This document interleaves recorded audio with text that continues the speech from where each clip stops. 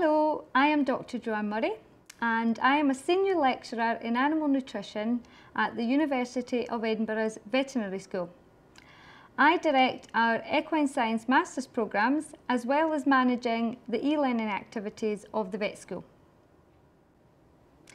My main interest is equine nutrition and I am a registered nutritionist in the UK and so I'm pleased to offer you this course in equine nutrition.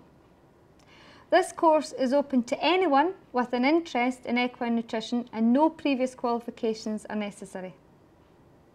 This course will cover many aspects of equine nutrition ranging from anatomy and physiology of the gastrointestinal tract to dietary management of horses and ponies affected with nutrition related disorders.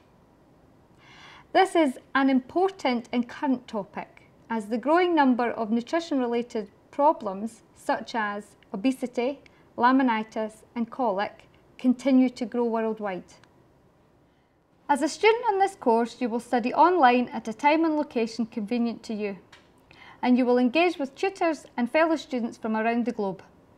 On completion of this course, you will have knowledge of the equine gastrointestinal tract and digestive processes, be able to recognise and appraise feedstuffs for horses and ponies, and make recommendations on rations for horses and ponies in various production and health states. I hope this topic is of interest to you, and if it is, I look forward to seeing you on our course.